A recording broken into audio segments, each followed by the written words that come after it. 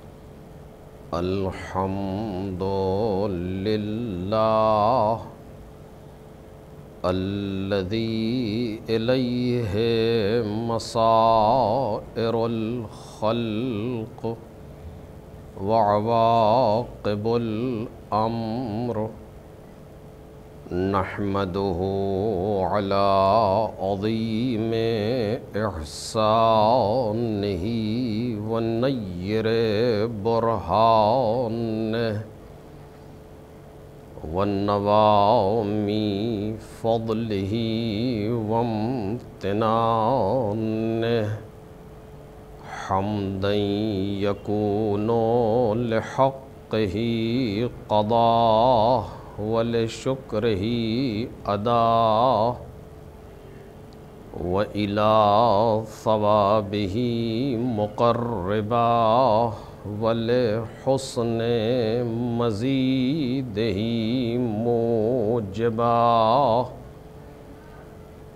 वसलातु वसलाम व तहैतो वल इकराम। अला अमीन ही व हबीब ही व खयरत ही मिन खलक़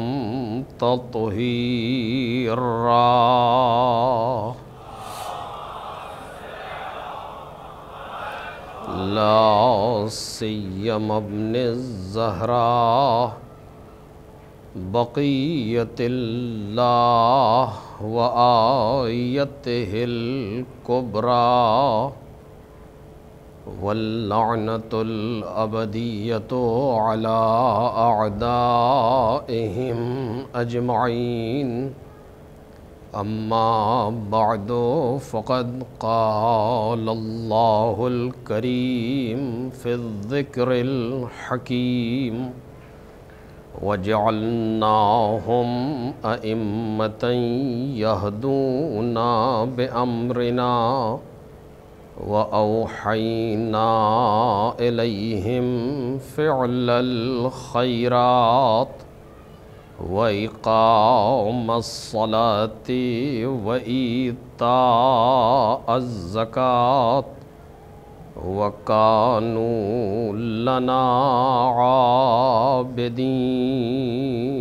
सलावत।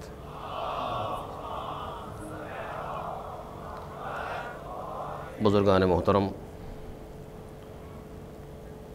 और बरदरान अज़ीज़ सूर मुबारक अम्बिया की। इस आय करीमा के ज़ैल में हमारी गुफ्तु जारी है, जिसमें इरशाद जनाब बारी है कि हमने उन्हें इमाम बनाया कि जो हमारे अम्र से हिदायत करते थे। और हमने उनकी तरफ़ कार खैर करने, नमाज़ों को कायम करने और ज़क़़त देने की वही की। और ये सब के सब हमारी ही इबादत करने वाले थे। इस आय करीमा के वसीले से जो मौजू ज़ेर बहस है वो मारफत इमाम है। और आज ये हमारी सातवीं गुफ्तु है। कल तक की गुफ्तु इस मकाम तक पहुँची थी कि इंसान के सारे कमालात और सारी फजीलतों का ताल्लुक़ उसके, उस मानवी जौहर से है कि जो उसकी ज़िंदगी में बुनियादी हैसियत रखता है। इंसान बज़ाहिर दो चीज़ों का मजमु है। एक, उसका जौहर ज़ाहरी है जो नज़र आता है और दूसरा उसका जौहर बातनी है जो दिखाई नहीं देता। इस कायनात में जितना भी इंसान का ताल्लुक़ है, वो उसी जौहर ज़ाहरी से है जो नज़र आता है। और वो जौहर बातनी जो नज़र नहीं आ रहा है, उसका किसी से कोई ताल्लुक़ नहीं है। और इंसान के सारे कमालात का दारो मदार उसी जौहर बातनी पर है। अगर ये ज़ाहिर हरकत कर भी रहा है तो उसी बातिन की वजह से कर रहा है। और अगर वो बातनी जौहर न हो तो ज़ाहिरी जौहर के होने का कोई फ़ायदा नहीं है। इस पर तफसील से कुछ गुफ्तु गुज़र चुकी है। मैं आज उसी से एक कदम आगे बढ़ कर के अर्ज़ करना चाहता हूँ मारफत जो हमारा मौजू है और इसका तस्वुर दुरुस्त और सही इस अशरे में चंद रोज़ा गुफ्तु में पेश करने की कोशिश की गई, उस मारफत का ताल्लुक़ भी इंसान के उसी बातनी जौहर से है कि जो नज़र नहीं आता। जितने भी इस तरह के मकूले हैं, मारफत हो, मोहब्बत हो, विलायत हो मवदत हो, नफ़रत हो, कुछ भी हो, इन सब का ताल्लुक़ उसी बातनी जौहर से है जो नज़र नहीं आ रहा। लेकिन हमारी मजबूरी यह है कि हम इस कायनात में सारी चीज़ों को इसी ज़ाहिर पर देखते हैं और बस, इससे ज़्यादा हम न चीज़ों को देख पाते हैं, न समझ पाते हैं न उसके बारे में फ़िक्र कर पाते हैं। कोई भी आज तक कायनात में ऐसा नहीं पैदा हुआ इस ज़ाहरी दुनिया में जो इंसान के उस बातनी रुख पर गुफ्तु करे या बयान करे कि वो क्या है। समझ सब रहे हैं, मानते सब हैं, लेकिन जिस तरह से महसूस करना चाहिए, नहीं कर सकते। सारी तकोदो जो कायनात की है, इसी ज़ाहिर के लिए है। मसलन अभी आप देख रहे हैं, शायद मैंने इसी जगह पर कहा भी कि हालात ख़राब हैं वायरस फैला हुआ है, यहाँ ना जाना, वहाँ ना जाना, मास्क लगा के जाओ, ये करके जाओ, सैनिटाइज़र, पता नहीं क्या क्या, क्यों? इसलिए कि ये बीमारी का ख़तरा है इससे। बीमार हो जाओगे, दुरुस्त है। इंसान को एहतियात करनी चाहिए, जो अकला कहते हैं, जो एक्सपर्ट्स जिस बारे में कह रहे हैं, उसकी एहतियात करनी चाहिए। मैं इसकी रद्द नहीं कर रहा हूँ, इसकी नफ़ी नहीं कर रहा हूँ। लेकिन इसी के साथ साथ क्या कभी हमने ऐसा सोचा कि जिस तरीक़े से ये एक वायरस हमारे ज़ाहिर को ख़राब कर सकता है, ऐसे ही कितने ऐसे वायरस हैं जो हमारे बातिन को ख़राब कर सकते हैं। कभी हमने इसके बारे में गौर किया? नहीं। कोई बाप यह कहता हुआ नज़र आता है कि फ़ला जगह ना जाना, वहाँ पर तुम्हारी रूह के अंदर ये मुश्किल पैदा हो जाएगी। फ़ला शख्स से न मिलना, उसके यहाँ तकबर पाया जाता है। तुम्हारे यहाँ भी आने के सर, आने के इम्कान पाए जाते हैं। फ़ला इंसान से न मिलना, उसके यहाँ ये मुश्किल पाई जाती है। तुम्हारे अंदर भी आ जाएगी। नहीं, कहीं नहीं। क्यों ऐसा है? चूँकि हम ना उस बातिन को महसूस कर पा रहे हैं, ना उसके बारे में फ़िक्र करते हैं, जबकि जिस तरीके से इस कायनात में ज़ाहिर के वायरस मौजूद हैं, इससे कहीं ज़्यादा बातिन के वायरस मौजूद हैं। इससे कहीं ज़्यादा ख़तरनाक वो वायरस मौजूद हैं। अगर ये वायरस हमारे बदन में चला भी गया तो क्या करेगा? बहुत से बहुत हमारे बदन को ख़त्म कर देगा, बस इससे ज़्यादा तो नहीं। वो बदन के जो पचास साल के बाद खुद ब खुद ख़त्म हो जाएगा। साठ साल के बाद खुद ब खुद ख़त्म हो जाएगा। कोई भी उम्र नू लेकर के तो इस कायनात में नहीं आया। उसको बिलाखिर आज नहीं, कल चला जाना है। ये वायरस थोड़ा जल्दी लेकर चला जाएगा, यही होगा इससे ज़्यादा। बहुत से बहुत यही हो सकता है। लेकिन इसके अलावा हमारी आकबत ख़राब नहीं होगी। हमारा मुक़द्दर ख़राब नहीं होगा। हमारे लिए जो चीज़ें लिख दी गई हैं, वो ख़राब होने वाली नहीं है। हमें जहन्नम में नहीं भेज दिया जाएगा, लेकिन उसके बावजूद हमें अपने ज़ाहिर के लिए, इस जिस्म के लिए इतनी ज़्यादा फ़िक्र है, लेकिन वो वायरस जो हमारी आकबत को ख़राब कर देगा, हमारे मुक़द्दर को ख़राब कर देगा, हमारी वो उस मंजिल को ख़राब कर देगा जिसके लिए हमको पैदा किया गया है, उसके लिए हमें कोई फ़िक्र नहीं है। क्यों? इसलिए कि हम उसे जानते नहीं हैं, हम उसे देखते नहीं हैं। ये जो सिलसिला परवरदिगार आलम ने रखा आने वालों का ये इसीलिए रखा था कि तुमको बता दिया जाए कि ये कौन सा ख़तरनाक वायरस है जो तुम्हें ख़राब कर देगा। ये कौन सी चीज़ है जो तुम्हें परेशान कर देगी। उसी का मजमुआ और उसी को समझ लेने का नाम मारफत कहलाता है। कि जो हमारा मौजू है मारफत, इमाम इन मैं अभी उस जगह पहुँच नहीं पा रहा हूँ जो इस साल के लिए जिस सिफत को नज़र में रखा गया। लेकिन बहरहाल सारी चीज़ें इसी पर मबनी है कि हम अपने उस बातिन पर तवज्जो करें एक। और जो कल गुफ्तु हो रही थी कि इंसान की हयात का दारो मदार भी उसी बातिन पर है। तवज्जो कीजिए। इंसान की हयात का दारो मदार भी उसी बातिन पर है। ये जो जुमले कहे जाते हैं, मर गया, चला गया, ये हो गया, ये सारे जुमले गलत हैं। इसका किसी से ताल्लुक़ नहीं है। क्यों? इसलिए कि मरता नहीं है इंसान। तवज्जो कीजिएगा जो मैं कल अर्ज़ कर रहा था। इंसान मरता नहीं है ये कह देना कि मर गया। इंसान ये गलत है जुमला। इंसान को मौत आ गई ये जुमला गलत है ऐसा नहीं है। बल्कि जो चीज़ मर रही है या जिस चीज़ को मौत आ रही है या जो चीज़ ख़त्म हो रही है बहुत से बहुत इंसान का बदन है। मौत ये नहीं है कि इंसान का बदन ख़त्म हो जाए। ये तो, तो ख़त्म ही आज नहीं कल। परवरदिगार आलम ने क्या आवाज़ दी? यबना आदम खोलिक तुम लिल बका। लालिल फना। अय आदम की औलाद, तुझे बाकी रहने के लिए पैदा किया गया है। फना होने के लिए नहीं पैदा किया गया। जब यह बात वाज हो गई तो इंसान इस कायनात से जो जा रहा है, मौत नहीं है ये। तवज्जो कीजिए कि जो ये बिल्कुल एक करंट मौजू है इस ज़माने में, इस पर गुफ्तु की जा सकती है। ये मौत नहीं है। कि जो हमारे सामने मौजूद है, इसको मौत से ताबीर करना भी शायद गलत है, या जो हम ज़िंदगी देख रहे हैं, इसको हयात से ताबीर करना भी गलत है। कुरान मजीद ने इसको हयात से ताबीर भी नहीं किया। कहते खेलो तमाशा है। ये नमल हयात दुनिया, जो दुनिया की तुम ज़िंदगी लिए हुए हो, ये अल्लाह ये खेल और तमाशा है। इसको हयात से ताबीर नहीं किया, बल्कि हयात क्या है? तवज्जो करें।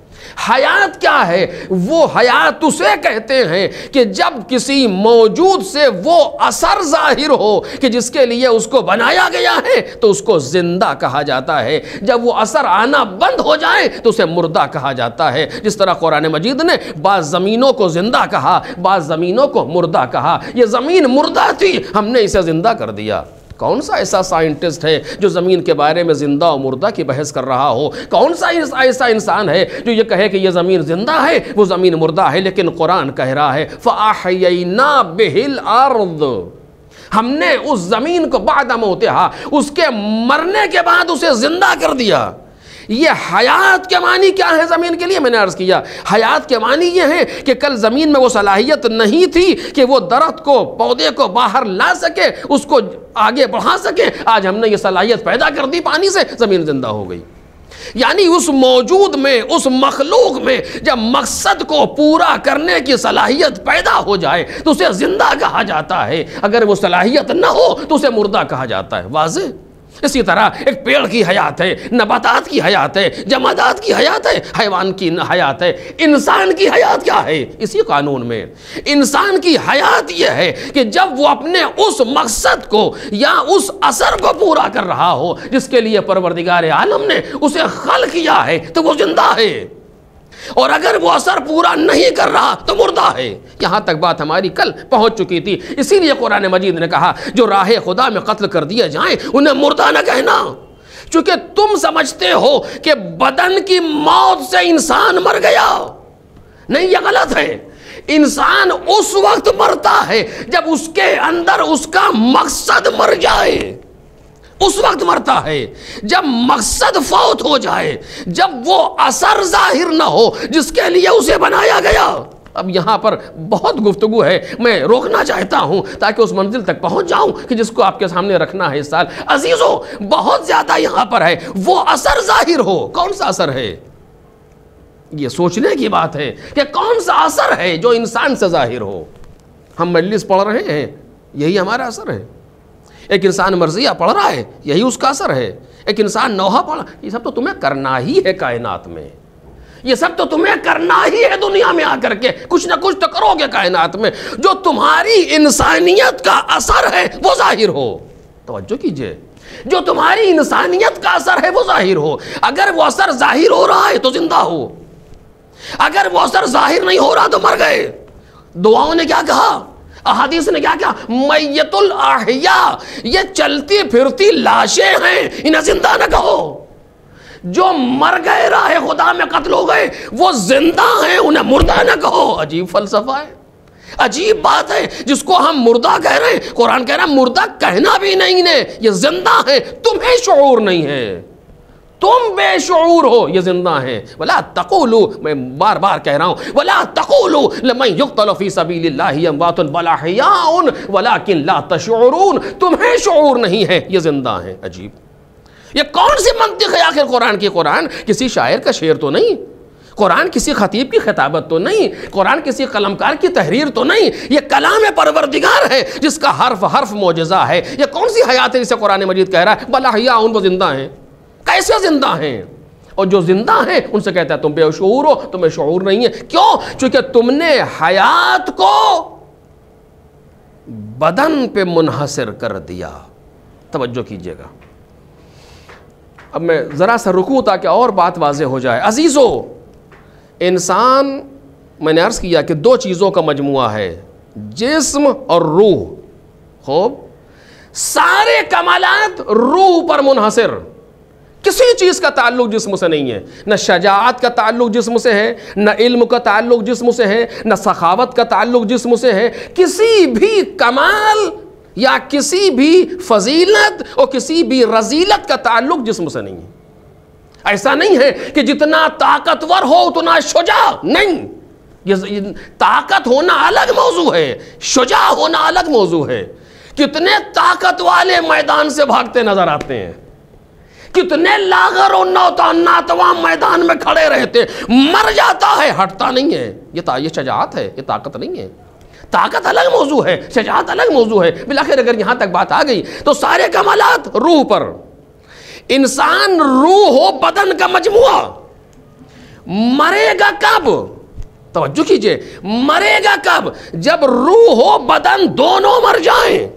मरना तो तब चाहिए। हम जब माँ के शिकम में थे, ज़िंदा नहीं कहलाते थे। जब तक रू नहीं आ गई, तब तक हम ज़िंदा नहीं कहलाए। यानी हमारी ज़िंदगी का ताल्लुक रूह से है। तो जब रूह को मौत आएगी, तब हमें मरना चाहिए। बदन से तो नहीं है। जब रूह को मौत आएगी, तब मरना चाहिए। दुनिया में आने के बाद क्या चीज़ मरती है? क्या चीज़ खत्म होती है? का बदन? रूह तो नहीं खत्म होती। जब रूह नहीं खत्म हो रही तो हमें ज़िंदा रहना चाहिए। बस यही मसला है। इसी को हमें समझ लेना चाहिए। कुरान मजीद इसी को समझाना चाहता है। जिस तरह तुम्हारे बदन के लिए मौत और हयात है, उसी तरह तुम्हारी रूह के लिए मौत और हयात है।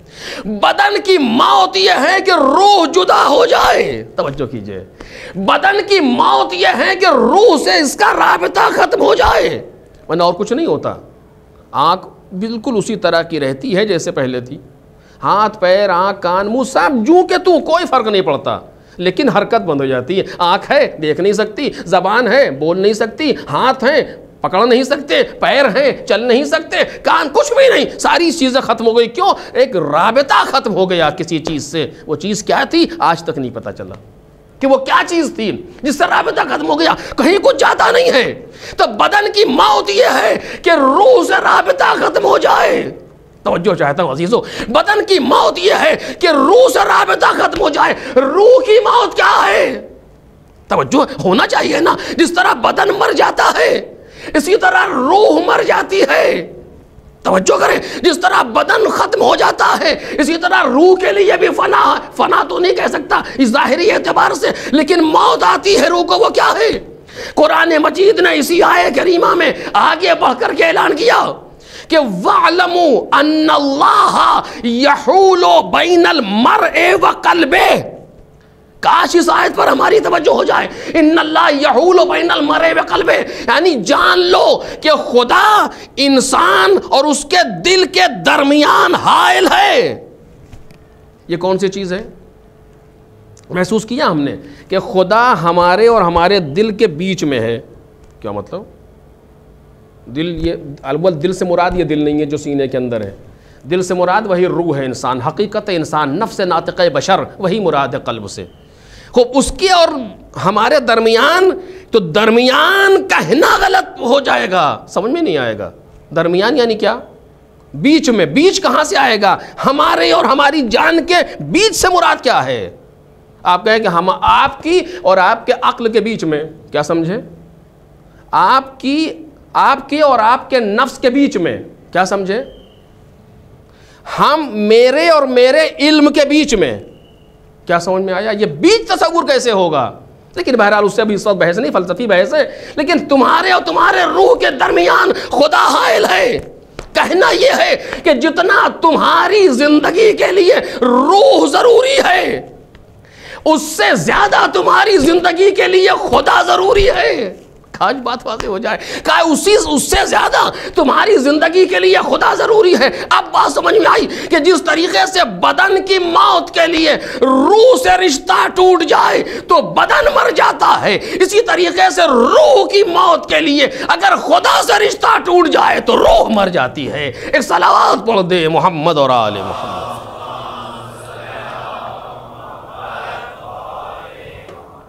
अगर रूह से रिश्ता ख़त्म हो जाए तो अगर खुदा से रिश्ता ख़त्म हो जाए तो रूह मर जाती है। रूह की मौत यह है। इंसान की मौत यह है कि खुदा से अपने रबते को ख़त्म कर दे।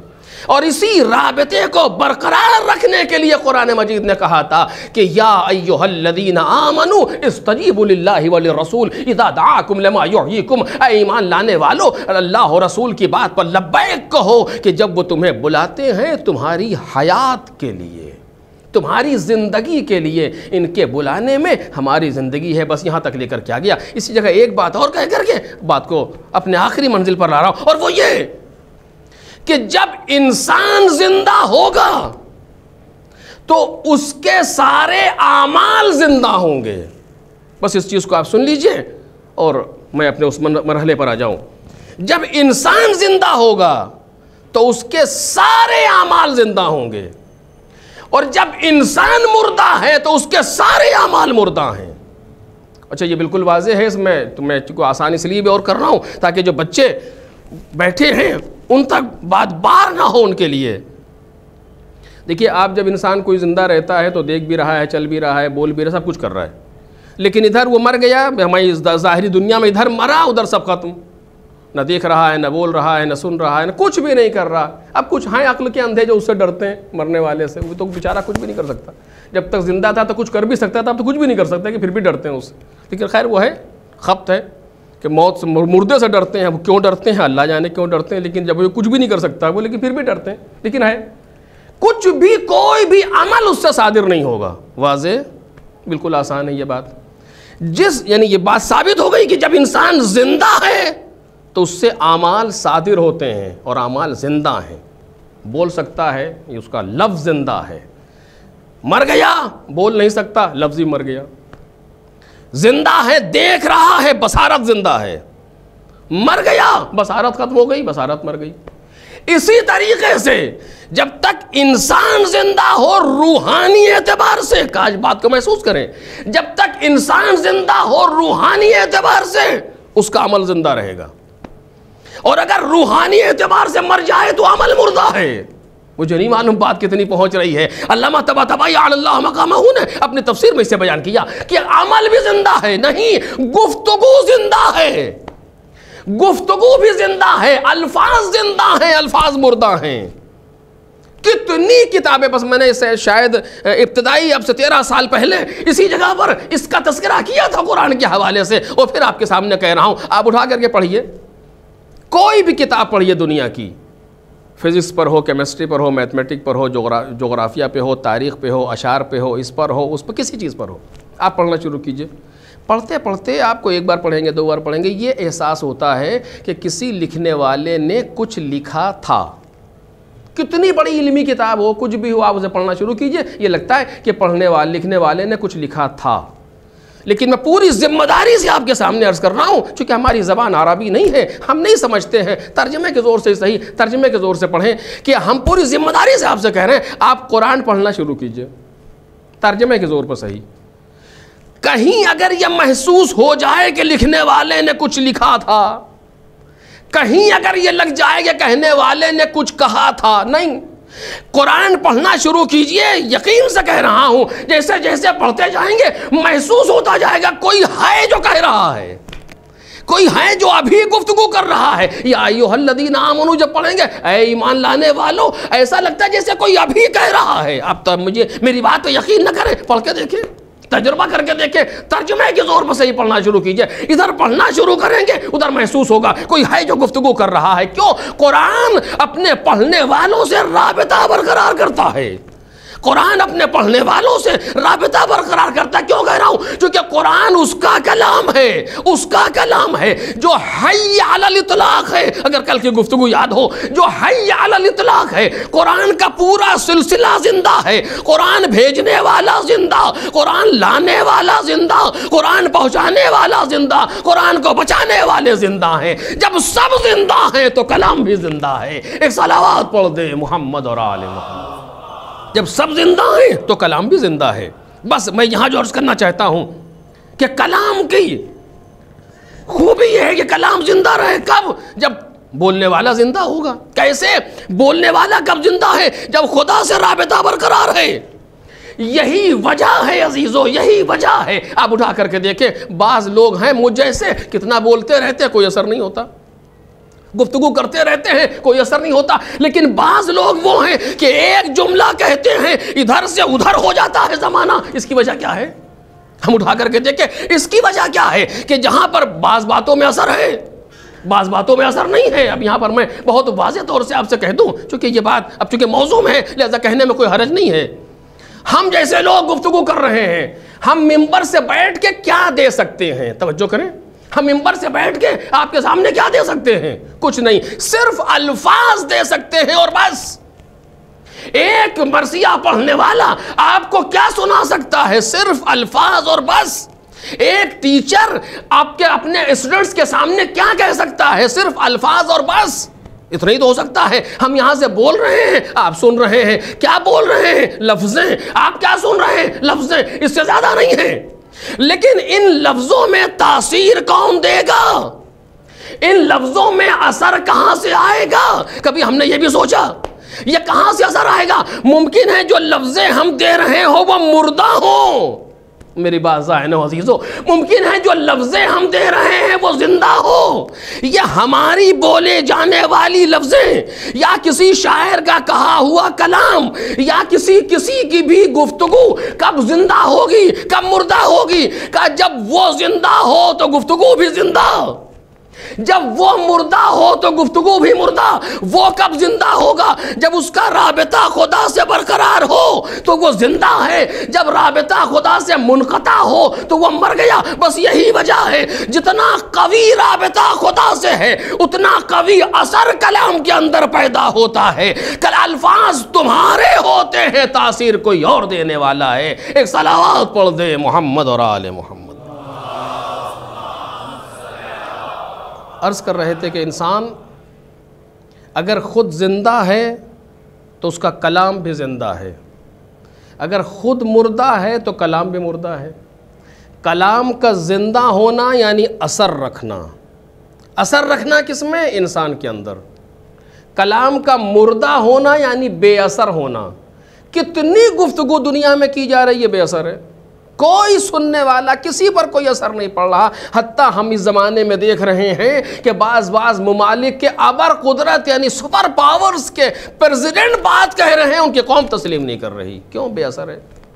लेकिन हमने इसी जगह पर देखा कि इसी कायनात में जिनको वो दिन भर जिनके खिलाफ तबलीग करते हैं, लेकिन अगर एक जुमला कह देते हैं तो दुनिया हिल जाती है बासर है। ये कैसे होता है? आखिर कभी हमने इसको सोचा? बास शायरों के, बास कलाम ऐसे हैं जिनका कोई जवाब नहीं। बास खुतबा की, ऐसी तकारीर है जिनका कोई जवाब नहीं। बास लिखने वालों की, ऐसी तहरीरें हैं जिनका कोई जवाब नहीं। ये कहाँ से चीज़ पैदा होती है? ये खाली कलाम का अच्छा होना काफ़ी है, या इसके पीछे कोई और भी चीज़ है जो असर है? का कलाम का अच्छा होना एक उनसुर है, लेकिन कलाम का ज़िंदा होना दूसरा उनसुर है। कि कलाम ज़िंदा रहे, गुफ्तगु ज़िंदा रहे, अमल ज़िंदा रहे। बाज लोगों ने बाज अमल अंजाम दिए हैं। दुनिया बढ़ती चली जा रही है, उनकी कुर्बानी नहीं भूल रही, उनका अमल जाय नहीं हो रहा। हर एक को याद है, ये कैसे होता है का अमल ज़िंदा है, कैसे ज़िंदा है, का इसलिए कि वो करने वाला ज़िंदा है, करने वाला कैसे ज़िंदा है? का मर तो गया, का मरा वो नहीं है, उसका जिस्म मरा है, मगर वो ज़िंदा है। इसी को कुरान ने कहा कि जो राह खुदा में मर जाते हैं, कत्ल हो जाए या मर जाए, उन्हें मुर्दा गुमान न करना वो ज़िंदा है। असल है, अपने खुदा से, अपने इमाम वक्त से अगर राबता बरकरार है तो तुम ज़िंदा हो, मर भी गए हो, मगर ज़िंदा हो। और अगर ये राबता बरकरार नहीं है तो ज़िंदा भी हो तो चलती फिरती लाशें हो। अपने आप को ज़िंदा नहीं समझना। एक सलावात पढ़ दे मोहम्मद और आल मोहम्मद। एक और सलवात मोहम्मद और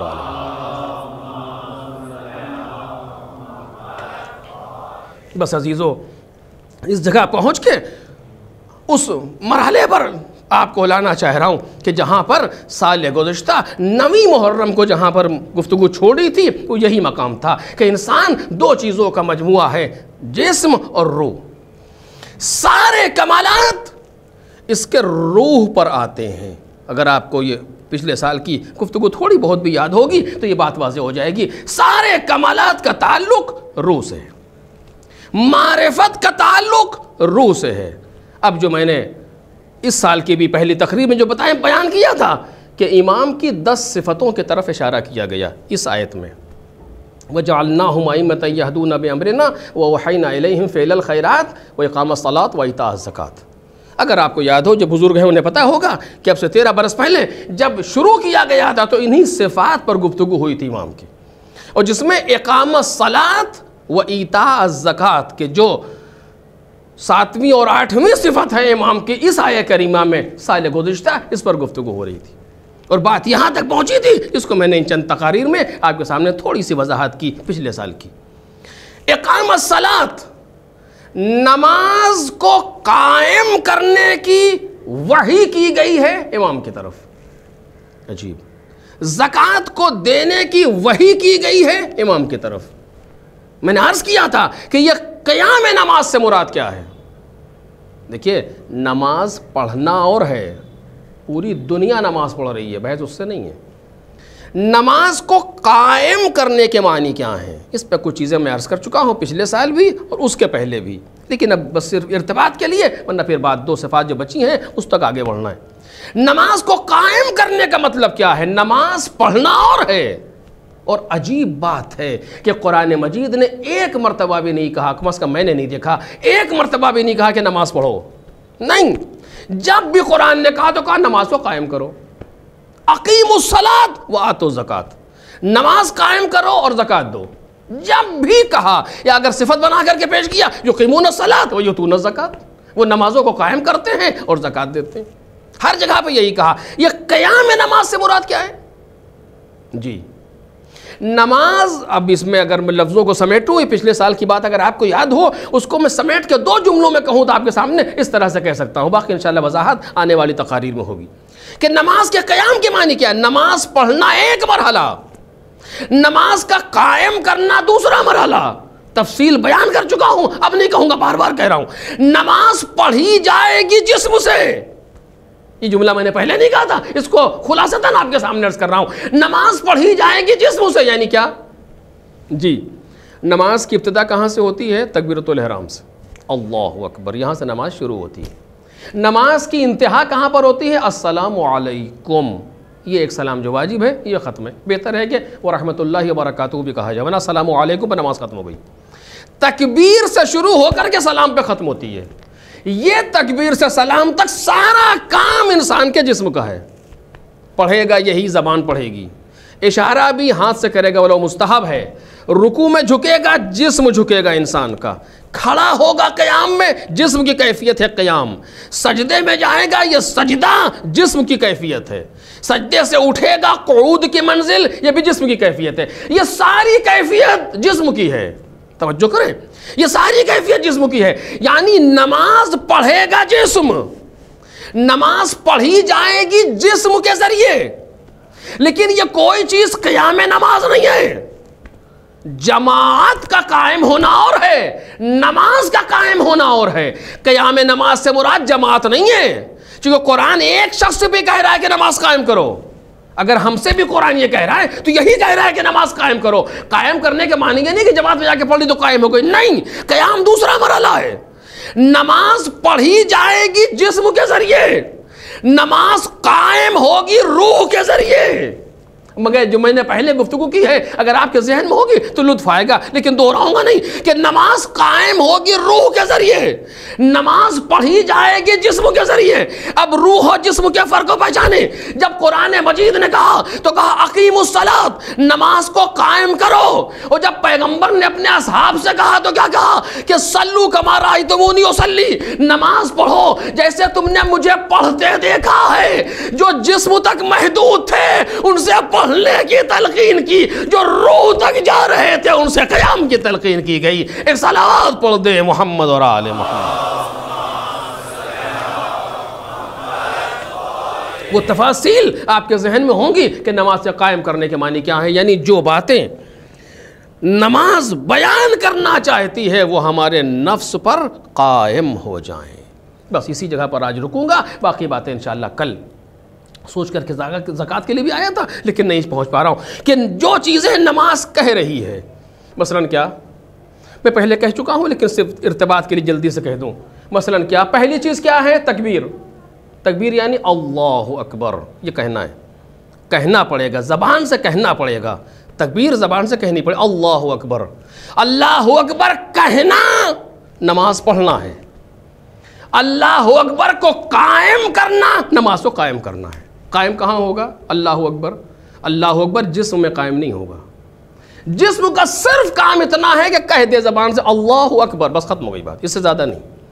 लेकिन इस अल्लाह अकबर का क्याम कहाँ होगा? जिसम में? का नहीं, जिसम जो का तू है। जिसम से कुछ नहीं होगा। बल्कि यह कयाम होगा रूह पर कि तुमने क्या कहा? अल्लाह अकबर यानी सबसे बड़ा है खुदा।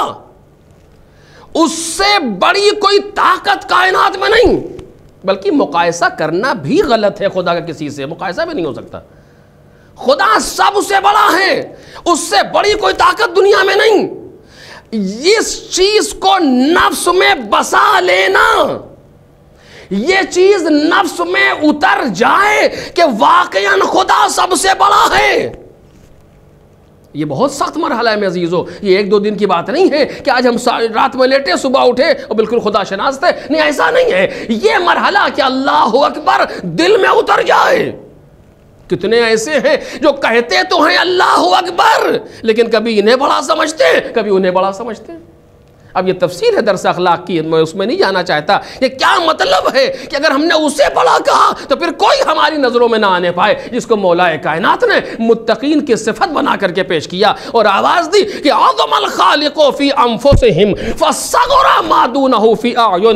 इनके नफ्सों में, इनकी रूहों में खालिक की अजमत इतनी समा जाती है कि फिर दुनिया के सारे लोग इनके सामने बौने नज़र आने लगते हैं। जो परवर को बड़ा समझ लेता है, फिर वो किसी को कुछ नहीं समझता।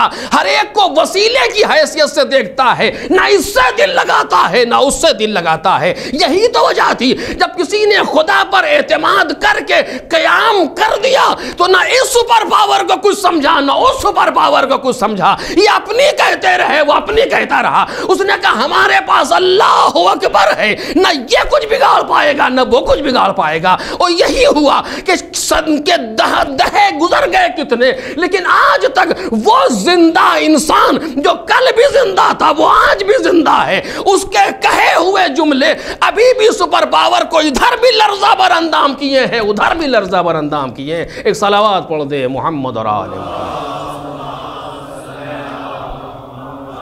तो ये ज़रूरी है कि इंसान इस मरहले को महसूस करे, बस इसी जगह पर आकर के।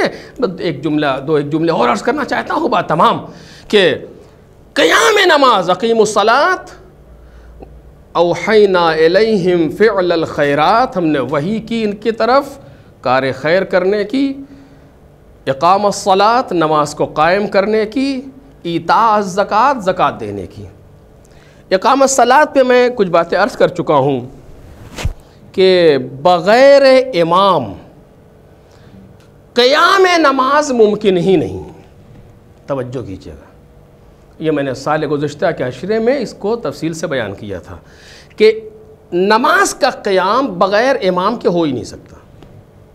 जिस तरीके से ज़ाहिर की जो जमात है, जमात नमाज़ जमात बग़ैर इमाम के नहीं हो सकती। कुछ भी कर लीजिए। फ़ुरादा नमाज़ जमात नहीं हो सकती। हमेशा जब भी जमात होगी तो कोई इमाम चाहिए आगे। इमाम जमात हमारे यहाँ लफ्ज़ गलत इस्तेमाल होती, पेश इमाम। पेश नमाज़, ये क्या मतलब हुआ इसका? पेश इमाम यानी क्या? पेश के माने आगे इमाम भी आगे आगे के आगे? या पेश नमाज़ नमाज़ के आगे? ये जुमले दुरुस्त नहीं हैं, लेकिन बार अब चले आ रहे हैं। है क्या इमाम जमात जमात का इमाम है। जो जमात नमाज़ पढ़ी, उसका इमाम इमाम जमात इमाम जमात के बगैर जमात नहीं हो सकती। क़याम नमाज़ जमात जुमलों पर गौर कीजिएगा। क़याम नमाज़ जमात बग़ैर इमाम जमात मुमकिन नहीं। है वाजे या पढ़ लेंगे आपको हो नहीं, फुरादा पढ़ेंगे। जिस तरीके से क़याम नमाज़ जमात, या अगर एक लफ्ज़ को हटा के कहूँ, जिस तरीके से क़याम जमात बग़ैर इमाम जमात के मुमकिन नहीं। उसी तरीके से क़याम नमाज़ बग़ैर इमाम बरहक के मुमकिन नहीं है। और उसको मैंने पिछले साल, जहाँ तक मेरे जहन में है, मैंने साबित किया है, आपके सामने बयान किया है। अब मुझे तो उसको दोहरा नहीं सकता, क्योंकि वक्त भी नहीं है, लेकिन बहरहाल मुर्तबित कर रहा हूँ। आप उसे खुद जोड़ लीजिएगा। जिस तरीके से क़याम जमात बग़ैर इमाम के मुमकिन नहीं, उसी तरीके से क़याम नमाज़ बग़ैर इमाम जमा इमाम बरहक के मुमकिन नहीं। क्यों? चूँकि वो हकीकतें, बस जुमलों में सिर्फ़ अर्ज़ कर रहा हूँ, वो हकीकतें जो नमाज़ में बयान हो रही हैं, तकबीरतुल एहराम से लेकर के सलाम तक जो हकीकतें बयान हो रही हैं, इन हकीकतों को बग़ैर इमाम के दर्क ही नहीं किया जा सकता। तवज्जो कीजिए, काश वक्त हो और इस पर इंसान और गुफ्तगु करे कि जो हकीकतें बयान हो रही हैं नमाज़ के अंदर, उसको बग़ैर इमाम के दर्क ही नहीं किया जा सकता। मसलन, एहदन सरातल मुस्तकीम। हमें सरात मुस्तकीम पर कायम रख या कायम कर, जो भी तर्जमा आप करें, मुझसे बहस नहीं। सरात मुस्तकीम सरात मुस्तकीम क्या है? सिर्फ़ एक मिसाल दे रहा हूँ, साल गुज्त गालिबा नहीं दी है, एक मिसाल दे रहा हूँ आपके सामने, और इसी से आप बाकी चीज़ों का कयास कीजिएगा। हर आदमी की नमाज़ इसके बगैर मुकम्मल हो ही नहीं सकती। चाहे दो रकत नमाज़ हो, चाहे एक रकत नमाज़ हो, नमाज़ वत्र एक रकत, वो भी इससे इसके बगैर मुकम्मल नहीं है। क्यों आपको कहना पड़ेगा, वाजिबी तौर से एह दिन सरातलमस्तकीम सरात मुस्तकीम की हिदायत कर जबकि कर ज़्यादा बेहतर है लेकिन बहरहाल मुझे बहस नहीं है कायम हिदायत कर या हिदायत पर रख उससे बहस नहीं सरात मुस्तकीम की हिदायत फरमा हो सरात मुस्तकीम कहाँ है वो सरात मुस्तकीम जो कुरान मजीद में हर मुसल्ली हर नमाज़ पढ़ने वाला दिन में कम अज़ कम जितनी रकतें पढ़ रहा है कम दस बार तो दिन में कही रहा है अगर दो दो पाँच नमाज़ें पढ़ा, शुरू की दो रकत में तो है ही सूर अलहमद। एहदना सरात मुस्तकीम सरात मुस्तकीम की हिदायत कर। ये कहाँ है? सरात मुस्तकीम। मुराद क्या है सरात मुस्तकीम से? खुद? वाज होनी चाहिए बात। क्या है सिरात मुस्तकीम? कभी सोचा हमने हम क्यों सोचे? कुरान खुद ही कह रहा है। सरा, एहदेना सिरातल मुस्तकीम, अगली आयत। सिरातल्लदीना अनअमत अलैहिम। उन लोगों का रास्ता जिन पर तूने नेमतें नाजिल की। अब कुरान नहीं है। उन लोगों का रास्ता जिन पर तूने नेमतें नाजिल की। यानी कुछ लोग हैं जिन पर नेमतें नाजिल हुई हैं, उनके रास्ते को सरात मुस्तकीम कहा जाता है। वो सरात मुस्तकीम पर नहीं चलते, बल्कि जहाँ चलते हैं, वो सरात मुस्तकीम कहलाती है। वो कौन लोग हैं? अबू हराल उसे उठा करके आप देखिए, तारीखी फिर बहसें आ जाएँगी। उससे मुझे इस वक्त मुराद नहीं है। मैं कह चुका हूँ इससे पहले, वो कौन लोग हैं? वो यही चौदह मासूमीन आलतम है। यही पैगंबर जनाब सैदा और उनके बारह जानशीन हैं। पैगंबर मोहम्मद अव्वल से लेकर के मोहम्मद आखिर तक। एक सलावात पढ़े, मोहम्मद आल पैगंबर से लेकर के आखिरी इमाम तक यही है। वो अफराद जिन पर नेमतें नाजिल हुई। मैं कहीं नहीं कह रहा हूँ, कुरान मजीद कह रहा है दूसरी आयत में, लेकिन अभी बयान का मौका नहीं है। ये लोग हैं जिन पर जो सरात मुस्तकीम है। यानी मौलाए कायनात के बारे में हदीस है, सरात मुस्तकीम है। नहीं, आप ज़रात जामिया पढ़ लीजिए। इमाम नकील सरातम ज़रात जाम क्या है? अंतमुसरातुल अकवम। अय अहले बैत, आप सरात मुस्तकीम हैं। आप सरात मुस्तकीम हैं। आज सरात मुस्तकीम कौन है? कम अज़ कम इस मजमे में तो कह सकता हूँ। आज सरात मुस्तकीम कौन है हमारे सामने? सरात मुस्तकीम हमारे गैब में रहने वाला हमारा बारवा इमाम ये सलावात पढ़े मोहम्मद गैब में रहने वाला हमारा बारवा इमाम आज सरात मुस्तकीम है। हम कुरान में क्या कह रहे हैं? एहदना सरात मुस्तकीम, नमाज़ में क्या कह रहे हैं? एहदना सरात मुस्तकीम, परवरदिगार सरात मुस्तकीम पर कायम रख या सरात मुस्तकीम की हिदायत कर। ये हिदायत सरात मुस्तकीम जो हम नमाज़ में कह रहे हैं, ये इसका कयाम कब होगा? पढ़ना तो जबान से है। इसका कयाम कब होगा? जब हमारा नफ्स इमाम ज़माना से मुर्तबित हो जाएगा तो कयाम सरात मुस्तकीम है। और जब तक वो इरतबात पैदा ना हो, न सरात मुस्तकीम कायम होगी, न नमाज़ कायम होगी। एक सलावात पढ़ दे मोहम्मद और ये क़याम नमाज़ का मसला है जो कुरान मजीद ने इमाम की सिफत बना करके पेश किया, शौकी नहीं है। ये सूर्य अम्बिया जो मैं पढ़ रहा हूँ आपके सामने कि अवहैन हमने उनकी तरफ़ वही की। फ़ेल खैरात व इकाम सलात नमाज़ को कायम करने की वही की। अजीब है। यानी इमाम नमाज़ को कायम करने का जिम्मेदार का जी, कैसे? जो मैंने साल गुजशत अर्ज़ किया और इस साल भी अर्ज़ किया कि जब तक उस शख्स से इरतबात कल्बी ना पैदा हो जाए, नमाज़ कायम नहीं हो सकती। अब ये बहुत सी बहसें, इसमें इरफानी बहसें हैं और अखलाकी बहसें हैं, इसके बयान का भी मौका नहीं है। जब तक उनसे इरतबात कल्बी ना पैदा हो जाए, नमाज़ कायम नहीं हो सकती। इंसान सर के बल खड़ा हो जाए, दिन में सत्रह रकत नहीं, जितनी दिल चाहे पढ़े, पढ़ तो सकता है, कायम नहीं कर सकता बगैर इमाम के। क्योंकि हर हकीकत पलट के इमाम तक जाएगी। और जितना उनसे मुर्तबित होते जाएँगे, उतना नमाज़ कायम होती जाएगी। और जब नमाज़ कायम होगी तो असर रखेगी, ज़िंदा होगी। और अगर कायम नहीं है तो अल्फाज जो जबान पर जारी हो रहे हैं, मुर्दा हैं, बेअसर है। कुछ नहीं है। बेअसर है लफ्जें, अगर सिर्फ़ लफ्जें हैं तो। और जब बेअसर होंगी तो आप देख रहे हैं, जो नतीजे निकल रहे आपको मालूम है, कुरान मजीद ने क्या कहा? कुरान मजीद ने कहा इन सलात तनहा अनिल फ़ाहशाए वल मुनकर. बस ये शायद आज के सिलसिले में इन सलात तनहा अनिल फ़ाहशाए वल मुनकर.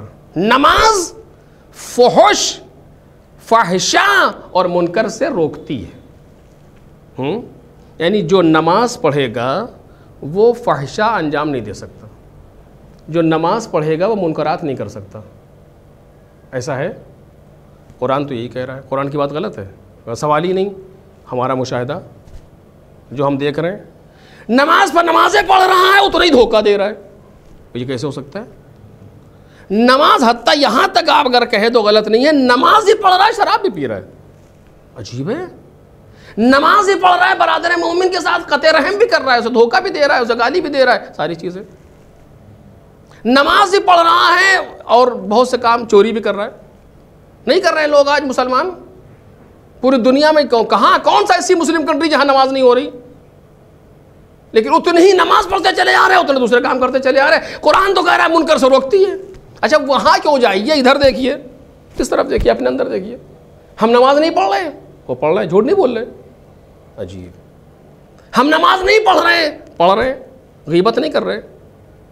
कर रहे हैं। हम नमाज़ नहीं पढ़ रहे हैं। क्या पढ़ रहे हैं? तकबर नहीं कर रहे हैं। वो भी कर रहे हैं। नमाज़ नमाज़ नहीं पढ़ रहे हैं। क्या पढ़ रहे हैं? रियाकारी नहीं कर रहे हैं। वो भी कर रहे हैं। अब क्या हुआ?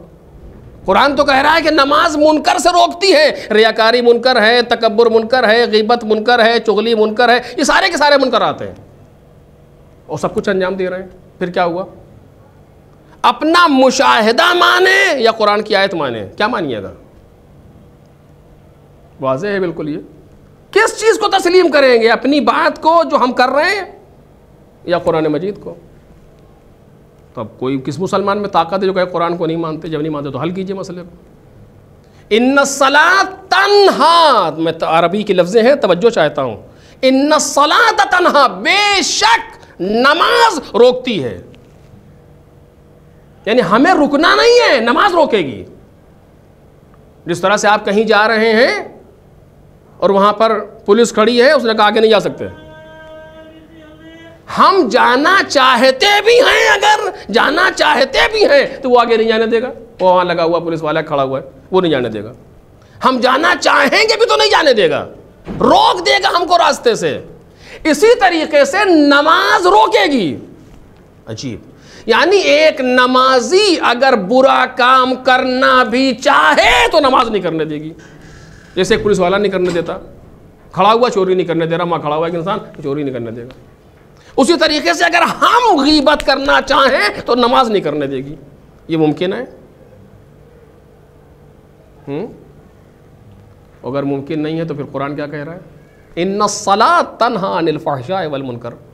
नमाज़ रोकती है फहश से, फहशा से, बुरी बातों से और मुनकरात से। और हम तो नमाज़ें पढ़ रहे नहीं रोक रही हाँ। वही जो मैं ये चार पाँच दिन में जो कहता चला रहा हूँ, अगर आप, जो आप शायद अब इसको, आप मेरे बच्चों को इसका अंदाज़ा हो गया, मैं क्यों बार बार ये बात कह रहा था? क्यों इस चीज़ को कह रहा था कि नमाज़ का पढ़ना और है, नमाज़ का कायम करना और है। जब तक नमाज़ पढ़ी जाती रहेगी, तब तक पढ़ता भी रहेगा, मुनकर अंजाम भी देता रहेगा।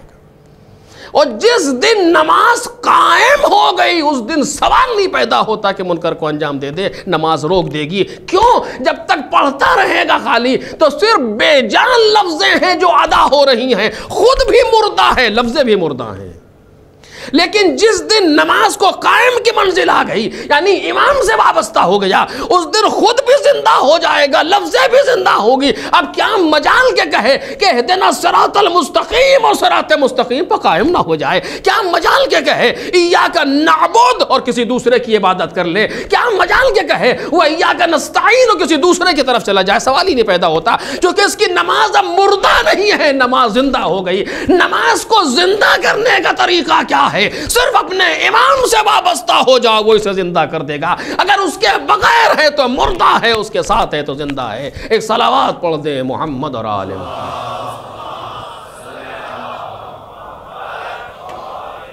बस अजीज़ो, अब इससे ज़्यादा दामन वक्त में गुंजाइश नहीं है। इन फिर ज़क़़त के बारे में कल गुफ्तु करूँगा आपके सामने। इसी जगह बात को रोक रहा हूँ कि ये सारी चीज़ें चूँकि इंसान दो चीज़ों का मजमु है, जो मैंने मुसलसल आपके सामने बयान किया, एक जिस्म और एक बदन और एक रूह।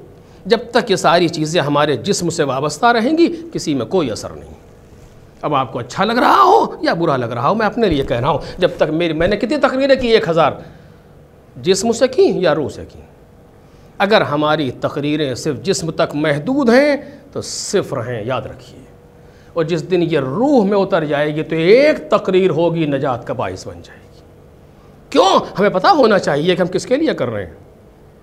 आपके लिए कर रहे हैं या अपने इमाम के लिए कर रहे हैं? किसके लिए पढ़ रहे हैं? अगर आपके लिए पढ़ रहे हैं तो कलाम मुर्दा है। अगर अपने इमाम के लिए पढ़ रहे हैं तो यकीन कीजिए एक एक लफ्ज ज़िंदा है। एक एक लफ्ज ज़िंदा है। क्या मज़ा ने कोई से मार दे? सवाल ही नहीं पैदा न इमाम मुर्दा है, न जो उससे वाबस्ता हो जाए, वो चीज़ मर सकती है। हयात देने वाली ज़ात का नाम है इमाम। क्यों? इसलिए कि इमाम नुमाइंदा है उस हल इतलाक का। और जब उस हई से, जो मैंने मिसाल दी थी, अगर कोई आब कलील कुर से मुतसिल हो जाए तो कुर हो जाता है, कसीर हो जाता है। इमाम चूँकि आयन इत्तसाल है परवरदिगार से तो वह मालिक हो वो ये मुतलक है। उसके अलावा कोई मबूद नहीं। इमाम चूँकि मुतसिल है, उस हई से लिहाजा खुद भी ज़िंदा भी है और ज़िंदगी बांटने वाला भी है। जितनी चीज़ें हुसैन से वाबस्ता होती चली जाएँगी, उनमें हयात पैदा होती चली हमारे नौहे हुसैन से वाबस्ता हैं तो ज़िंदा हैं। हमारी यज़ा हुसैन से वाबस्ता है, इसलिए ज़िंदा है। हमारी तकारीर हुसैन से वाबस्ता होंगी तो ज़िंदा होंगी। हमारा फ़र्ज़ हुसैन इबन अली से वाबस्ता होगा तो ज़िंदा होगा। ये सारी चीज़ें जितना इरतबात पैदा करती जाएगी मौला से, उतना इनमें हयात पैदा होगी। और जब इनमें हयात पैदा हो जाए तो कायनात के मुर्दा अफराद न कभी इसको मिटा सके हैं, न मिटा सकेंगे। ये तो वादा है ये। वादा जो जनाब सैदा ने वादा किया या पैगंबर ने वादा किया, वो मोजा नहीं है वादा। वो मोजा वो वो वादा इसी हकीकत की तरफ़ इशारा है कि जितनी चीज़ें हमसे वाबस्ता होती जाएँगी, वो ज़िंदा होती जाएँगी। तो याद रखो, अगर अपने इमाम से वाबस्ता हो गए, जिस एतबार से भी तो हयात है, और अगर उनसे दूर हो गए, जिस एतबार से भी तो मौत है। बस इस पर आप याद रखिएगा। चला इसी बात पर अर्ज़ करूँगा। इसीलिए जो इमाम के नज़दीक होता है, आखिरी फ़करा, जो इमाम के नज़दीक होता है, उसे न मौत की फ़िक्र होती है और ना दुनिया से जाने और हयात की फ़िक्र होती है। उसकी फ़िक्र कुछ और है। अगर आप ये दो तीन दिन की तकरीरें अगर जहन में होती, जुमला बहुत सहारा देगा कि जो इमाम के नज़दीक होता है, उसे किसी बात की फ़िक्र नहीं होती। उसकी फ़िक्र का जाविया किसी और समत होता है, कैसे? इमाम चल रहे हैं। और बराबर में बेटा चल रहा है, दोनों घोड़े पर हैं। अचानक इमाम ने कहा, इन्ना लिल्लाह व इन्ना इलैहि राजिऊन। जैसे ही ये कलमा सुना तस्बी है इस्तरजा तो बेटे ने पूछा, बाबा, इस वक्त तस्बी है इस्तरजा पढ़ने के मानी क्या हैं? का मेरे कानों में आवाज़ आई। घोड़े पर ही इमाम हुसैन को गनोतगी सी आई हल्की सी। आँख लगी और घोड़े की पुश्त पर। और उस वक्त एक उन्होंने कहा कि मेरे कानों में आवाज़ आई कि ये जा रहे हैं, मौत इनके पीछे पीछे आ रही है। इमाम कह रहा है कि मौत पीछे पीछे आ रही शोखी नहीं है। बेटे ने क्या कहा? मैंने इससे पहले भी कहा है। बेटे ने क्या कहा? ये नहीं कहा कि बचने का रास्ता क्या है। ये नहीं कहा कि आपको बचाने की तरकीब क्या है, कुछ नहीं। बेटा पूछता है बाबा क्या हम हक के नहीं हैं? अजीब। मौत के साथ पीछे आ रही है इमाम कह रहे हैं कोई आम इंसान नहीं कह रहा इमाम कह रहे हैं कि मौत पीछे पीछे आ रही है। और बेटा पूछ रहा है कि हम हक पे नहीं है क्या इर्तबात दोनों में क्या है? होना ये चाहिए था जो सवाल नेचुरल जो सवाल तभी था वो ये था कि बाबा फिर बचने का रास्ता क्या है? बाबा हम आपको बचाएँ कैसे आपकी हिफाजत कैसे करें? ये कुछ नहीं पूछता बेटा बाबा क्या हम हक पे नहीं है? इमाम हुसैन ने कहा, मेरे लाल, आज अगर दुनिया में कोई हक पर है तो मैं और मेरे साथी। कहा, फिर इज़ल्ला नवाली बिल मौत, फिर हमें मौत की क्या परवाह है? मौत हम पर आ पड़े या हम मौत पे जा पड़े? अजीब। ये कौन से फ़िक्र है जो जनाब अली अकबर दे रहे हैं उन्नीस साल की उम्र में अट्ठारह वर्ष की उम्र में? जो ये कौन सी फ़िक्र है? ये वही है इत्तिसाल इमाम का नतीजा है। इमाम से मुतसिल हो जाने का नतीजा है कि मौत व हयात के उनवान तब्दील हो गए। मौत व हयात का जो एक खाका जहन में होता आम इंसान के बदल गया। अली अकबर अब मौत के बारे में फ़िक्र नहीं कर रहे, अब हक़ व बातिल की फ़िक्र कर रहे हैं। कि हक व बातिल वही है। हक किसे कहते हैं? जो इमाम से मुतसिल हो। बातिल किसे कहते हैं? जो इमाम से दूर हो। दुआओं के अंदर भी मौजूद है, अहादीस के अंदर भी मौजूद है। हक यानी इमाम, बातिल यानी इमाम के अलावा। बस मेरे अजीज़ों, जनाब अकबर ने क्या कहा नबाली बिल मौत अवक़ालमौत अलैया हम वक़ा तो चाहे हम मौत पे जा पड़े या मौत हम पर आ पड़े, ये फ़िक्र ले करके वो जवान, करबला की मंजिल तक आ गया। करबला तक पहुँच गए। इस फ़िक्र को लिए हुए अली अकबर, यहाँ तक कि दिन गुज़रते रहे, रातें गुज़रती रहीं। हुसैन इबन अली चारों तरफ़ से फ़ौजों में घिरते रहे। शब आशूर आई, हुसैन इबन अली ने नौ मुहर्रम की तकरीबन आसर के वक्त में जनाब अब्बास से कहा था, अब्बास, अगर तुम फ़ौजों को रोक सकते हो तो एक दिन के लिए रोको। इनसे कहो, रोक दो इन्हें कि ये एक दिन और जंग न हो, ताकि हम अपने परवरदिगार की इबादत कर सके। खुदा जानता है कि इन्नी लहिबसलात व तिलावत किताब या तिलावत किताबें मैं नमाज़ को दोस्त रखता हूँ और अल्लाह की किताब की तिलावत को, यानी कुरान की तिलावत को दोस्त रखता हूँ। लो अजीज़ो या रात हुसैन इबन अली ने तिलावत में बसर की। अभी हुसैन इबन अली नमाज़ सुबह की ताक़ीबात से फारिग न होने पाए थे कि तीरों की बारिश शुरू हुई। उमर साद ने कहा गवाह रहना कि पहला तीर मैं मार रहा हूँ। इसके बाद ये आलम हुआ कि चारों तरफ़ से हज़ारों तीर हुसैन इबन अली के खेमों की तरफ़ चले। साथी फ़ौर खड़े हुए, आए और आने के बाद अपने आप को कतार में लगा दिया। ऐसा न हो कि कोई तीर सैदानियों के खैमों कोई तीर सैदानियों के खैमों तक पहुँच जाए, वरना हम क्या जवाब देंगे? लो मेरे अजीज़ों उधर से पैगाम दिया गया। हम खुद जंग के लिए आ रहे हैं। जो जंग का उसूल है, उसके एतबार से जंग करेंगे। एक एक करके जाता रहा एक एक करके जाता रहा। जब साथी न रह गए, अब दिल के टुकड़ों की बारी आई। सारे मकातिल ने लिखा कि बनी हाशिम में सबसे पहले निकलने वाला कौन? जनाब अली अकबर। अली बाज़ जगहों पर तो यह भी है, हुसैन इबन अली ने कहा तकदम वलदी, मेरे लाल, बिस्मिल्लाह। अब न सुन सकोगे अजीज़ों क्या कैफियत है? एक तरफ़ सत्तावन बरस का बुढ़ापा और एक तरफ़ अट्ठारह बरस की जवानी। इस चीज़ को जल्दी से महसूस ही नहीं किया जा सकता। वही महसूस कर सकता है जिसका बेटा जवान हो, जिसका बेटा उसके सामने मौजूद हो और वो भी महसूस नहीं कर सकता। क्यों? अरे पहले किसी का बेटा अली अकबर जैसा हो तो।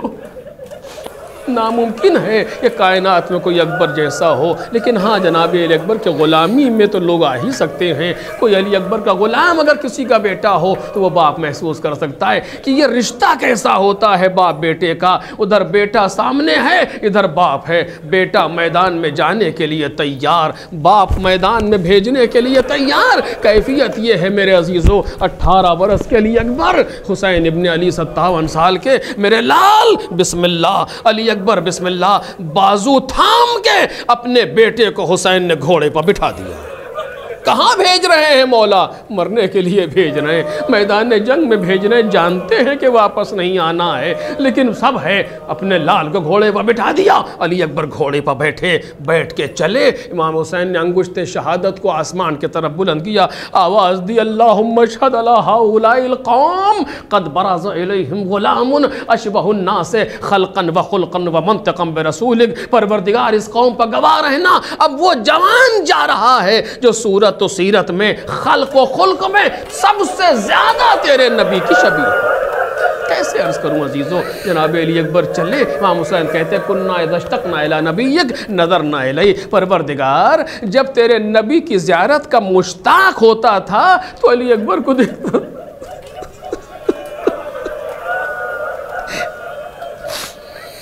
तो अली अकबर को देखता था, बेटा, जोश शजात में घोड़े पर सवार हुआ। लजा में फरस को खेचा, घोड़ा महमेज हुआ। तेज़ी से अली अकबर, अब अली इब्न अबी तालिब का पोता है, अबुल फजल अब्बास का भतीजा है। शजात में गैज़ गज़ब के आलम में शमशीर निकाल के अली अकबर फौज पर झपटे। लेकिन अभी कुछ दूर गए थे, ये कानों में आवाज़ आई, या बुनैया, महलन महला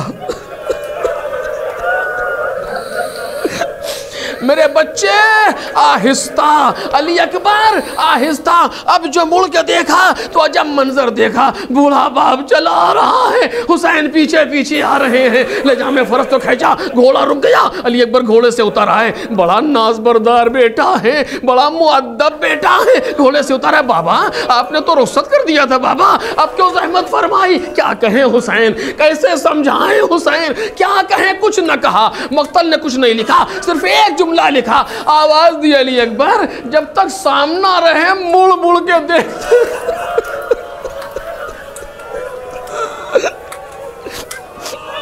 जब तक सामना रहे मेरे लाल मुड़ मुड़ के देखते रहना, बाप का कहना था, अली अकबर बार बार मुड़ के देख रहे हैं। अब नहीं पता, हुसैन अपने बेटे को देख रहे हैं, या कह रहे हैं वालेकुम या रसूल अल्लाह लो अजीजो, अली अकबर मैदान में आए खूब लड़े।